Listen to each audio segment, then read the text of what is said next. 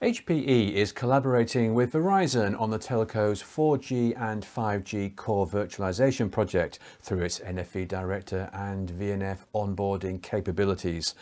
I'm Guy Daniels, Director of Content at TelecomTV, and joining me now to explain more about the partnership is Kazi Ahmed, who is Director of Technology at Verizon.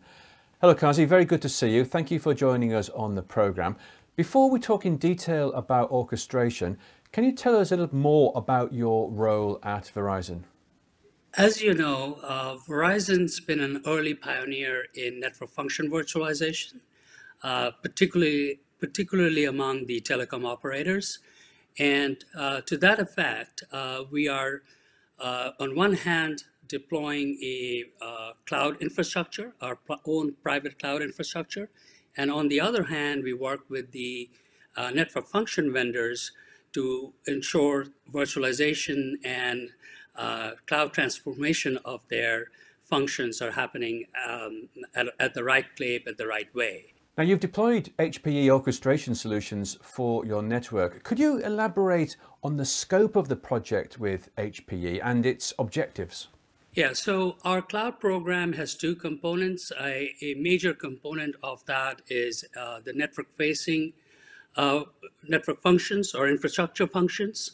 Uh, HPE, we are focused on deployment of those network-facing functions into our cloud. Um, we have a multi-vendor environment. Um, all of our network, starting from RAN, EPC, into IMS core is truly multi-vendor environment. Also, our cloud is multi-cloud. Um, we are we are we are deploying a standard-based orchestration uh, capability, uh, and HPE tool fits into very nicely in that space for us. So tell us how you use the HPE products and what were your main requirements? We are using the HPE product across all of our line of business within the infrastructure domain. So wireline, wireless.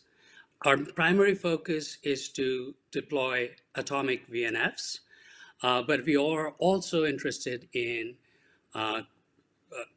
chaining them together and deploy network services.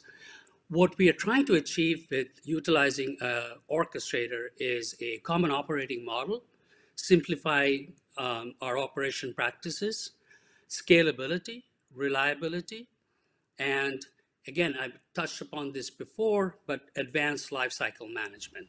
What types of VNFs have you been able to deploy and, and what's the current status?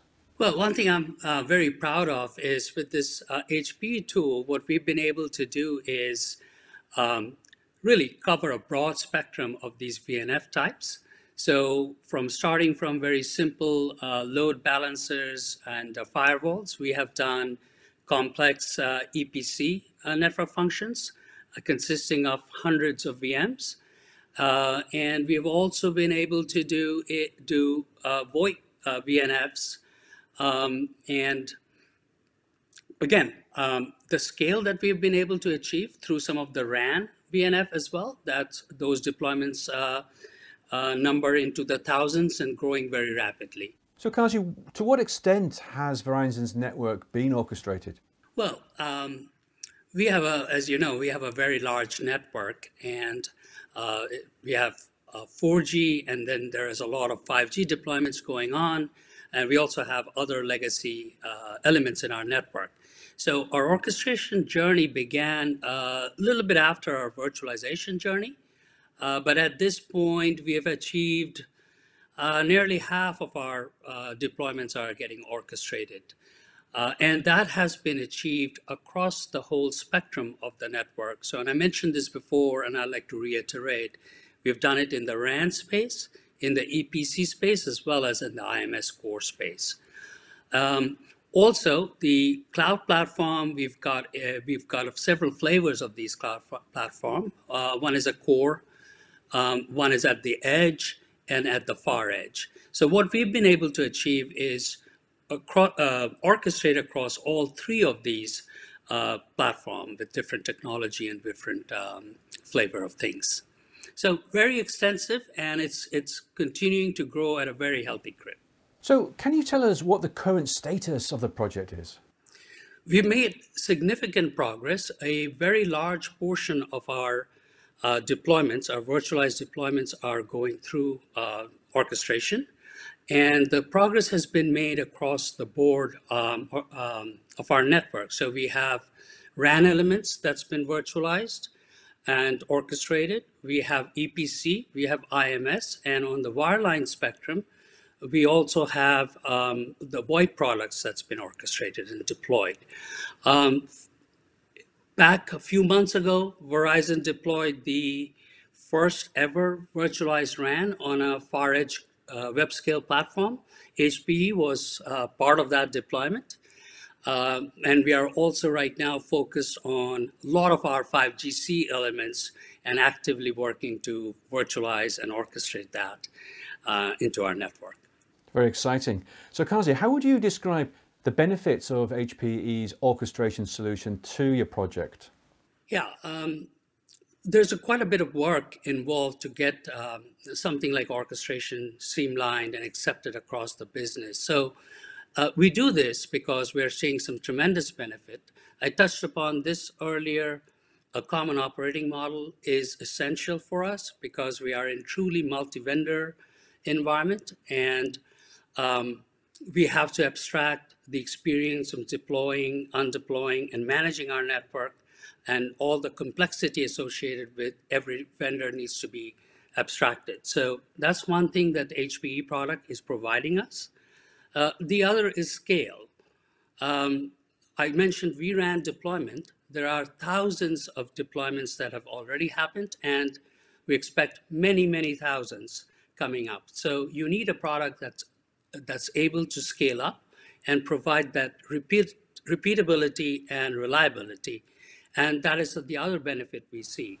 And what are the main lessons that you've learned from this virtualization project? Yeah, um, I, I, touched on some of the benefits, um, uh, but you have to be careful when you do this deployment. Uh, along the way, we have learned that standardization is key. Um, custom uh, uh interface de development doesn't really scale, especially when we are talking about the kind of uh, deployments that we need to do. Uh, so, and when, you, when it comes to standard, uh, you have to facilitate that. Um, you have to have willing uh, vendors. So you need to ensure that your e ecosystem is mature and they are um, a willing partner and they will go along with that journey to uh, uh, ensure that the standards are robust.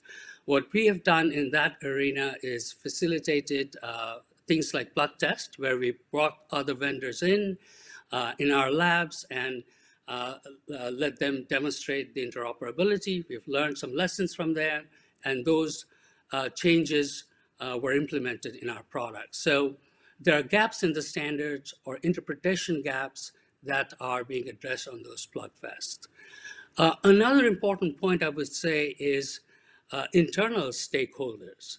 You need to ensure that you have buy-in from them because with orchestration and virtualization, you are changing the existing business process. And you want to do that. You want to change your existing business process. But if your internal stakeholders are not completely aligned and bought in, that becomes a difficult journey.